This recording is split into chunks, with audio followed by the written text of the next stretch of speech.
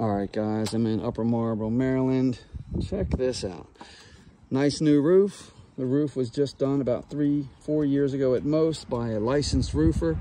But the homeowner all of a sudden is having all these issues on the perimeter. Every room on the edges was having issues. And I've, I could see it from the ground, but I'm going through and getting close up pictures of it. They just did this while code was to have ice and water they just have tar paper, see that? That's just tar paper and no drip edge. So code is ice and water and drip edge here in PG County, everywhere here in Maryland.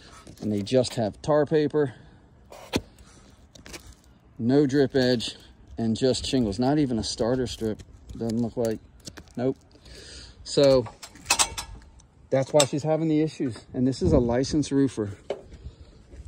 It's dangerous, man. You're gonna beat everybody's price because you're going to be able to go lower because you're going to save money on materials. But man, look at this. Look at that. Tar paper, that might be, that is ice and water shield. So they laid it in some spots, but still no drip edge.